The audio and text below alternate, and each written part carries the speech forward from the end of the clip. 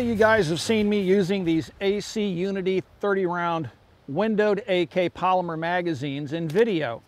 And in the comment section, a lot of you guys are talking about the magazines, asking me about the quality of them, and even people saying that there are reports on AK files and other places that they're frail and easily broken. I brought out today a couple of test samples. I also have X-Tech, and these are new magazines as well, relatively speaking. They've been out for a little while, but these are made here in the USA. These are from the ashes of the old US Palm magazines, but don't confuse them with the US Palm magazines. These have been re-engineered. They are user serviceable. They have steel reinforcements front and rear. They also have steel reinforced feed lips from what they say on their website. Looking at the feed lips, I cannot see the reinforcements, but then my old eyes are failing me. Actually, I do see steel in there. So just inside the feed lips, I can see a little bit of steel. These things, again, are manufactured in the United States. They claim that they've tried them in every AK they can get their hands on. If you're a US Palm user, you'll know that the US Palm magazines didn't work in all AKs. These are manufactured in Bosnia. They claim that they're using some sort of space age German polymer in the manufacturing. They're claimed to be used by Bosnian defense forces as well as other European nations. So these are actually military issued magazines. These, to my knowledge, are not. You'll notice that there is a sizable difference between the two magazines. This, the X-Tech is quite a bit thicker and the AC Unity is quite a bit more narrow. Now, both of these magazines feature something that I didn't really care for initially, but have really come to appreciate, and that is a steel reinforced bolt hold open on the last round on the followers of both magazines. The AC Unity does not have steel reinforced feed lips, however, it does have steel reinforced locking points front and rear. These retail for $29. These, depending on what you get, retail for as little as $9. Now I have the windowed 30 round magazine here and I paid $13 for these. You can get the non-windowed version for right around uh, 8 bucks to 11 bucks depending on where you shop. These are also available for AK-74s, 7.62 by 39, 545 by 39. They have 30 rounders, 40 rounders, and they even have a quad stack 7.62 by 39 version of this magazine. I have read lots of reports of those having issues. Uh, Recoil Magazine, Ian from Recoil did a tour of the factory uh, on Recoil Web. You might want to check that out if you want to learn more about the manufacturing of these AC Unity magazines. So why are we out here today? We're out here today to torture test these to find out if the feed lips are in fact prone to breaking on the AC Unities. And the X-Techs I've had for a while. I had some prototypes, some early ones. Now I've purchased these magazines. I have no dog in the fight. Um, this is this represents $60 in magazines I'm about to destroy, maybe. And I have 13 bucks each in these. So we're gonna, we're gonna do some destructive testing, if you will, of sorts, and just kind of be hard on these magazines and see how they perform.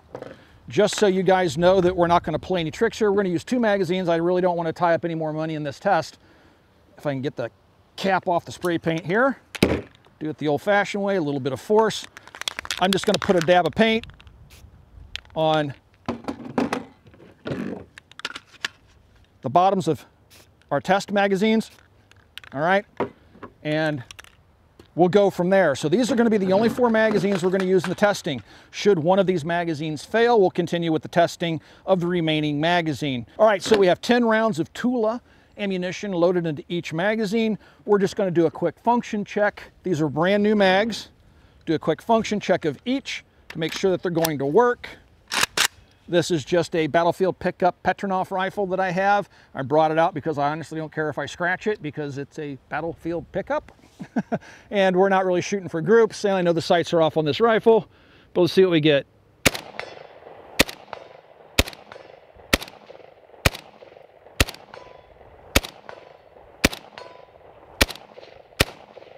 Right, locked open just like it should. I'm doing the Kentucky windage thing, and we'll talk more about the hold open follower on each. That was our first X-Tech. This is our second.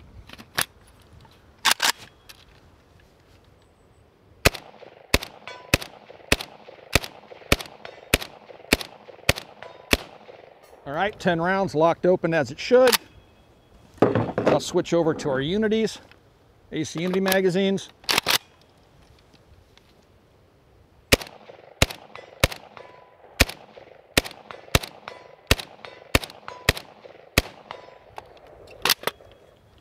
Locked open like it should.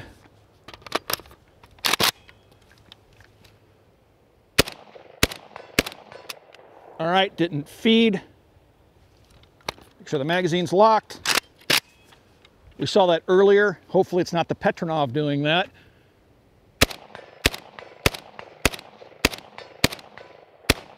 And it locked open. Let's see if that continues.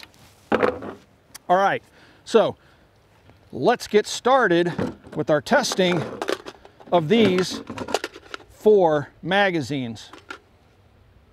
So when we were testing the rifle before we started videotaping this morning, we noticed that one of the AC Unity magazines failed to pick up a round. And then in the intro of the video, we noticed an AC Unity magazine failed to pick up a round. So now we're gonna try to identify the problem magazine. If we find the problem magazine, here are two test magazines that are spray painted. All right, we do have some Federal out here as well today. And it, it happened with the Federal when we started off this morning, but then again it happened with the Tula in the opening of the video. So these are two test magazines.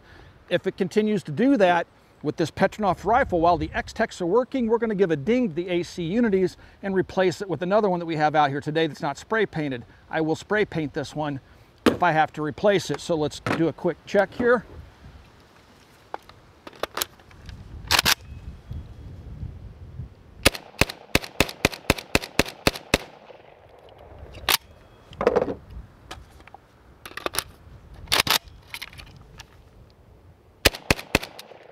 Okay, we have identified the problem magazine. It's consistently doing it.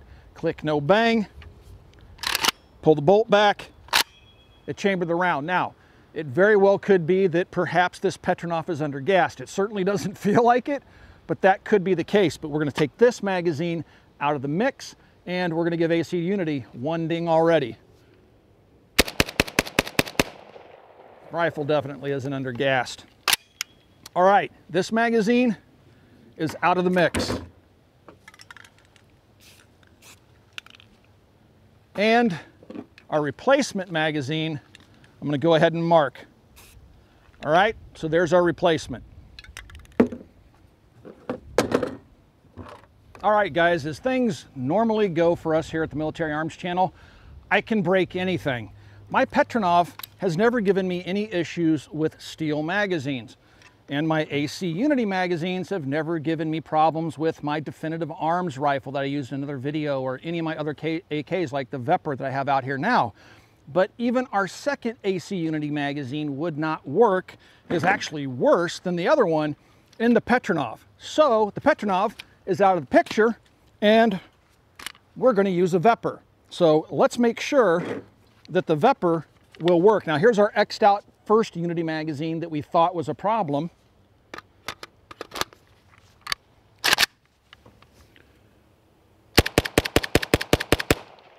Okay, locked open just like it should. Here's the other one of the test Unity magazines.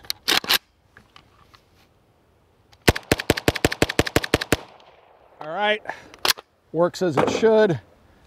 And then the third test Unity magazine, which I didn't want to do. All right. So the AC Unity magazines, that ding I gave it, we're taking that ding away. We're gonna use a quality rifle. Okay, we'll go back to using the originals, the big ugly X on it because there's nothing wrong with it when using it in the Vepr. We'll keep this one on standby just in case something happens. Our two X-Techs are here. So now let's start the testing.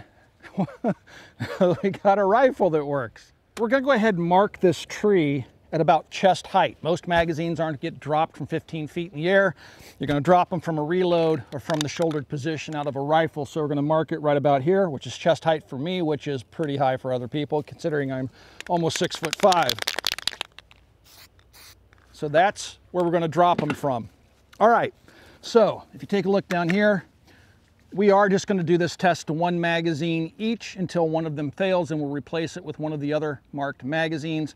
We have limited resources and ammo. Tula, nobody gives me this ammo. Nobody's giving these magazines to me. I'm having to pay for all this. So we're gonna try to do this testing as uh, cost effectively as possible.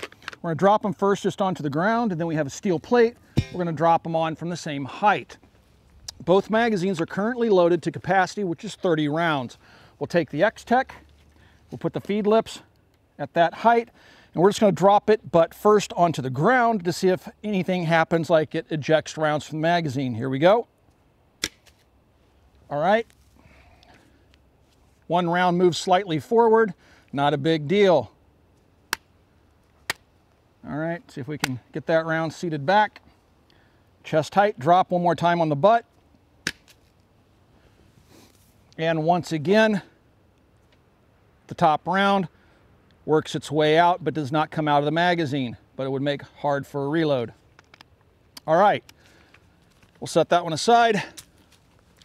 The AC Unity, the one that we had originally thought was bad, which works fine in the Vepr, we will drop from the same height, but first 30 rounds loaded. That top round just barely moves out, not very much at all. Okay. Seat it back. One more time. And once again, that top round moves out, but not as much as it does on the X-Tech, but still no, it's pretty much flush with the front of the magazine. You could probably get that into a rifle. Not bad. Okay, so now let's drop them onto the ground rounds first. Start off with our X-Tech. And 30 rounds loaded, chest height, rounds first. Yeah, I mean, that's not doing anything, guys. That's definitely not gonna break anything. Do it one more time. and no physical signs of damage.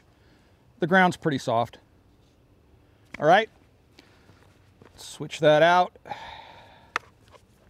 Got to have an open pocket around here somewhere.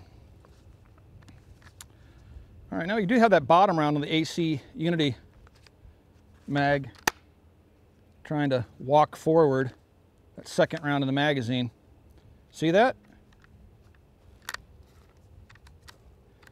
It's not holding that round tightly at all. Push down, see if it's a reset, okay.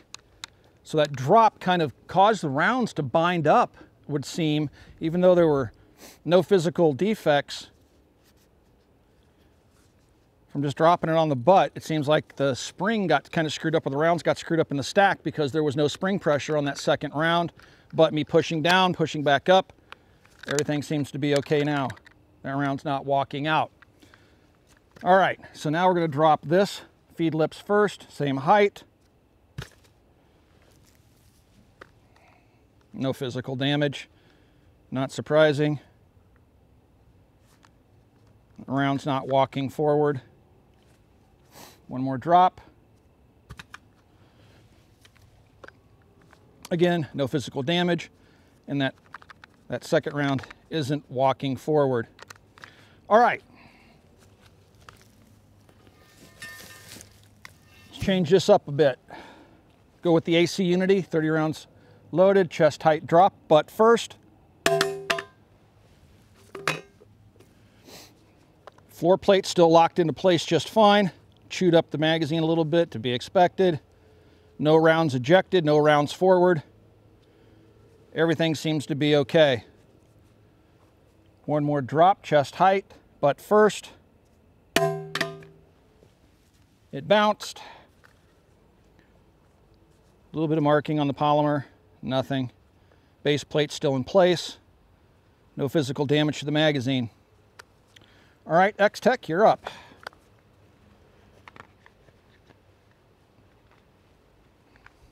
X-Tech, 30 rounds, chest height, butt first, steel plate. All right, put a little flat spot there. Base plate still firmly in place. No damage really. Round walk forward a little bit. We didn't see that with the AC Unity, but no other physical damage. One more drop. Again, all it's doing is just flattening out that edge. I mean, that's nothing. Base plate staying in place. That round slightly walked forward, but that would load just fine. As you can see, it's not extending out past that front locking lug. All right, next test. Chest height onto the feed lips. Here we go. Drop one, X-Tech magazine, 30 rounds loaded. That hit favoring this feed lip when I dropped it. You can see where it hit. No rounds walked out. I don't see any physical damage to the feed lips. Just a mark. All right, drop it again. I was trying to hold it like this, but you know what, guys? I'm just going to let gravity do its thing. Onto the feed lips. It seems it's favoring the back of the feed lip the way it falls because the way it's weighted, it wants to fall like this due to gravity. All right? Maybe if I hold it like this, something different would happen. Just a nick in the feed lip, nothing serious. No rounds walked out. No signs of physical damage. We'll go for four. I'll hold it mid-magazine like this, see if things it changes how it impacts the steel plate. Definitely hit more square that time. Yeah, you can see how it hit more square. No physical damage that I can see. Rounds didn't walk forward. And one more drop just for posterity's sake. Holding middle of the magazine. Good square hit. Again, you can see it's flattening out back here. A little bit of damage to the polymer. No cracks. No rounds walked out. Looks good. All right, four drops for the AC Unity on the feed lips. Then we're going to go test fire these magazines once we're done. Hold it from here, chest height, and go. Now that one dropped around out of the magazine. It hit more square. It seems like the center of gravity is a little bit different. It dropped around out. I don't see any physical damage to the feed lips, but it dropped around out. Okay, try it again. Holding top of the magazine, chest height, steel plate. Here we go. Wow, dropped a bunch of rounds out. All right, so we have one, two, three, four rounds out, one sticking out, and it cracked the magazine. This magazine is no longer serviceable. Took two drops on the steel plate to completely destroy this magazine. This magazine will not work. I don't think there's too much more to be said about the AC Unity magazines. Wish I hadn't bought so many of them. You can see the crack here. Now, some of you will say, well, you're dropping on steel. You don't walk on steel. If you drop it on asphalt, concrete, same thing. Any hard surface could produce the same results as what we've seen here. We just happen to have a steel plate handy. So that versus this, big difference. Big, big difference. The X-Tech is a tank. This is a range magazine. It's like the first gen polymer P-Mags, not go to war tough. And that's a shame because it has steel locking lugs front and rear. Had they steel reinforced the feed lips, we would not have seen this type of failure. This magazine can no longer continue in testing, so we're gonna go to one of the backup magazines. That's unfortunate. So the discussions that I've seen online seem to confirm that the AC Unity magazines do have a very pronounced failure point, and that would be the feed lips. It seems that everything else was working just fine. We're dropping on the butt, things like that, working flawlessly, but because it does not have steel reinforced feed lips, it failed. This is a range magazine. So from this point forward, the AC Unity magazines aren't go to war they are range mags, period. Now you can see very clearly it's metal bolt hold open here. We'll show you what it looks like on the X-Tech here once we empty the magazine that we did the testing on. We've replaced the broken failed magazine with a new one. We already know that it's not gonna pass drop tests on the feed lips. That's confirmed and that's all over the internet. We're gonna just say that's a fact. They break when you drop them loaded on their feed lips, and they may break if you drop them when they're not loaded on their feed lips or partially loaded. So now we're going to continue a different type of testing with a, a brand new AC Unity magazine that has not been through any of the drop tests. So we're going to get this one out of the mix and we'll do different battery of tests on this magazine. However, our current champion, the X-Tech, we're going to go ahead and see if it functions in the Vepr. This is the same magazine that, what, that was dropped on the butt and dropped on the feed lips four times. All right, here we go. Let's see if we got function. Locked in, charged.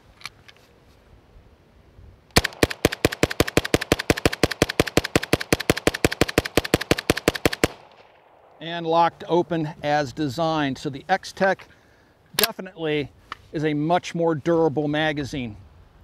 If you take a look at the follower, it's all polymer, but the stop is right there on the very end. On the AC Unity, it comes further up into the follower.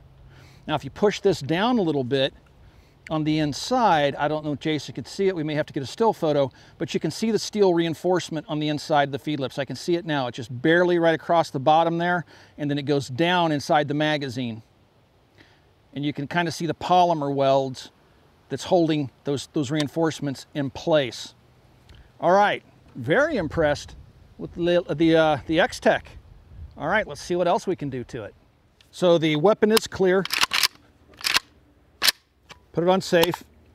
So, soldiers jumping out of the back of vehicles, things like that. It happens. When you jump out, you may hit your weapon on your way out. I have shown in previous videos that the first generation Magpul magazines without the steel reinforcements were fairly easy to snap off an AK simply by banging it on a wooden table. So what I'm going to do now is start off with a fully loaded 30 round AC Unity magazine. I am not going to load the weapon. And I'm going to simulate jumping out of a pick, uh, out of a truck and banging my weapon muzzle down on the back of that truck. Here we go from about chest height. Now this is not scientific, but here goes the first test.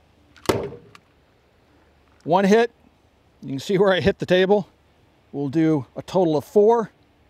Here it goes, number two. Second hit. Third hit. Fourth hit. All right? Let's walk over and see if the weapon fires.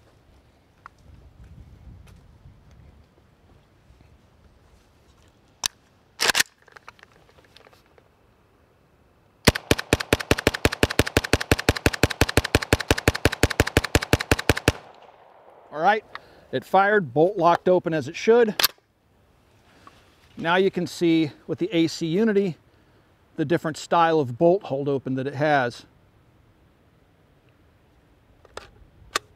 Boy, if they just had steel reinforcements. Now, another thing I've noticed about the AC Unities, they're like Glock frames. You can see I can flex them very easily. Even up by the feed lips, I can easily, not the feed lips themselves, but I can, I can squish the whole magazine body. It's very, very thin polymer.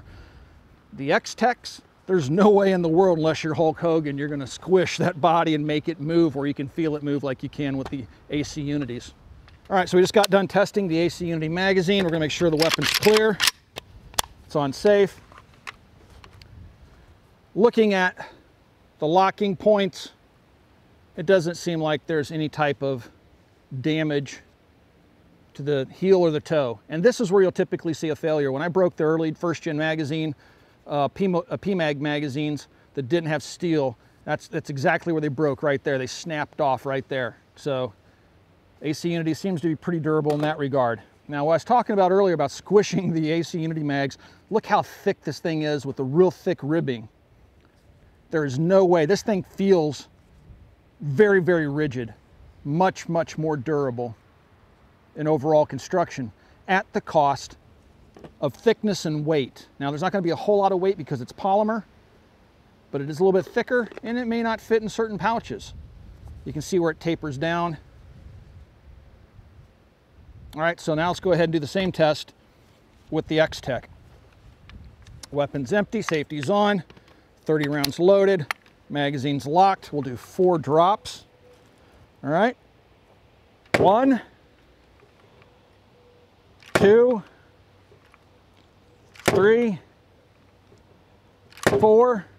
All right, let's walk over, see if the weapon fires.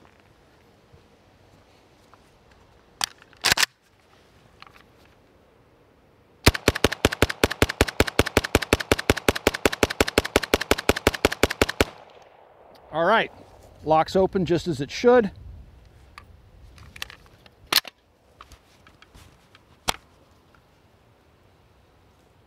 Everything seems to be just fine with the locking points. No cracks in the polymer. This magazine's good to go. So we've already seen what these magazines are capable of in terms of being dropped while loaded and being banged while loaded into a, a rifle as if you were jumping out of a vehicle. The magazines are both empty right now, and what we're going to do is a simple drop test of a heavy item onto each of the magazines. What I'm trying to find out here is just how durable is the polymer of each of these magazines. First up is our current loser, the AC Unity. We're going to lay it on the ground, drop a brick on it from about chest height, and see if that did any physical damage to the magazine. Doesn't appear that there's any physical damage to the mag. We'll load it up and try it after this. Let's do another drop.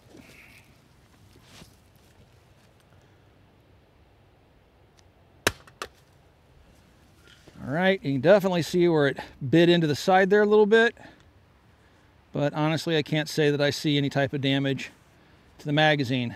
All right, AC Unity off to the side, X-Tech up. I do not have any doubt the X-Tech's going to pass this test with flying colors, but I've been wrong before. Here we go. Took a big nick out of one of the ribbing pieces, but that's raised and not unexpected. Don't think it did any structural damage to it. One more drop.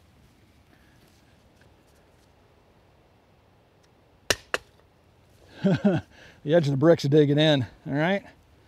Again, it's dinging up the ribbing, but no structural damage that I can see. All right, what the heck? Let's take the cushion out of it. X-Tech, steel plate bottom, brick dropped from chest height. Here we go.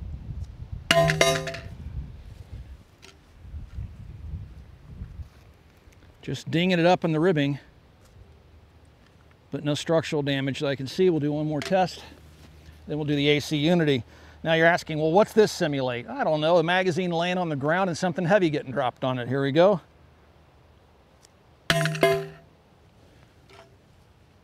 Again, that's really biting in. I'm getting pretty accurate with my drops. Really took a big bite out of that uh, ribbing, but I don't see any structural damage to the magazine, just cosmetic. We'll find out, we'll load it up and shoot it. All right, AC Unity. Steel plate, brick drop, chest height.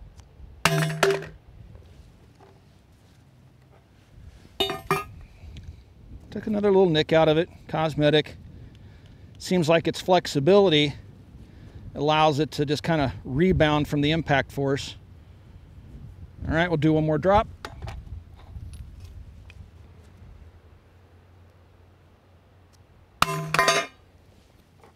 And that time, we took a nick out of it and that went all the way through. Will that keep it from working? Definitely a hole in the magazine. I don't think it's going to keep it from working. It's just cosmetic. But once again, this magazine is nowhere near as durable as the X-Tech based upon the testing we've done so far this afternoon. All right, guys, we've loaded up the two magazines after our brick drop test. And again, the only damage we see the AC Unity, it actually made a hole in the magazine, but it loaded 30 rounds just fine. So let's go ahead and see if the AC Unity works. Probably will. Locks in okay.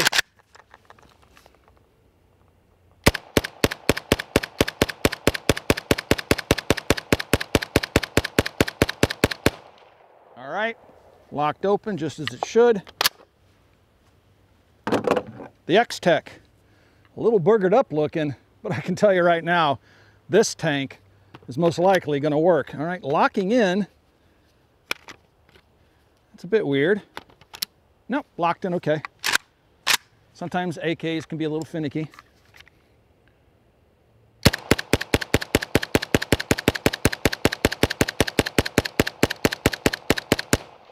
All right, functions just fine. Bolt hold works just as it should. Well, guys, I'm going to go ahead and say what I've already said. This is a range magazine, an alternative to PMags, if you will. About the same price. Would I put these into my Go kit? Absolutely not. If the Bosnian military is using these, I feel sorry for them. This is not a magazine. I mean, I think I could probably actually break this thing. I don't know if Jason can see this, how much I'm flexing it. It's just, and this is windowed. Maybe the non-windowed version would have done a little better. It certainly would have changed the outcome of the feed lips. But man, it almost feels like I could snap this thing on my knee. It just is not that durable. The X-Tech, I'll break my fingers trying to bend or flex this thing. There's just no way you're gonna get any movement out of this thing. It's tough as tanks. This thing is durable. So this is what you get. This magazine's about 20 bucks more than this magazine, but this magazine has a shelf life. This one, it's a go to war magazine. This thing's tough. For a polymer magazine, that's a darn tank. All right, if you want to stick around to the end of the video, I'm going to see what I can do to break this thing. But if you don't want to stick around, guys, thanks for 11 years of support. If you'd like to support us in our effort to bring you information like this, consider becoming a Patreon supporter.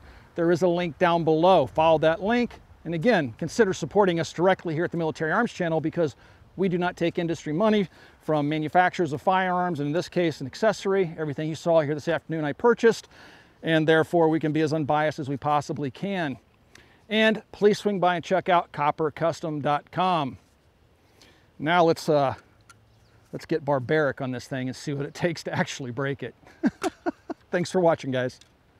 All right, so we got the X-Tech magazine setting on a steel plate on a brick, and I have this big ass heavy log, and let's see how good my aim is. it broke my brick.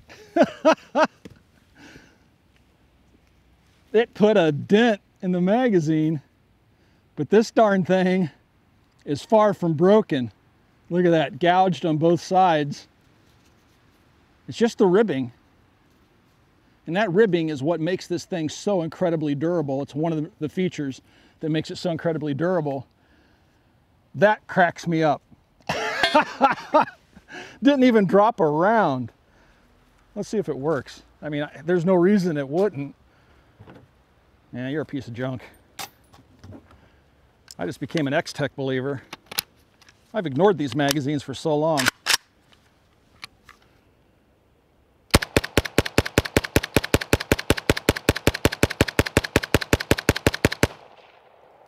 Wow, what a tank. I ain't done yet. Jason came up with this test. Gonna put the magazine like this on the brick, try to drop this stump I'm sitting on straight down and see if we can crush the feed lip area of this magazine. Alrighty, here we go. Took another bite. Oh! That did it. I knew we could break it. Good call, Jason. you figured out a way to break it. Well, now you can see the steel reinforcements on the feed lips.